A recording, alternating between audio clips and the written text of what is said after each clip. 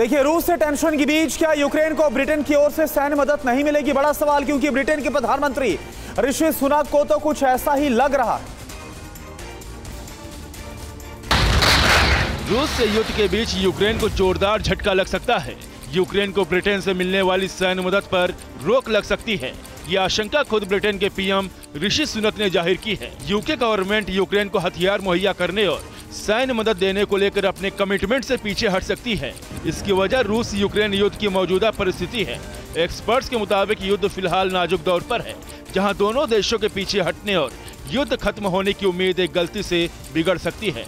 ऐसे में ब्रिटेन नहीं चाहता कि ये युद्ध और भी भयानक हो।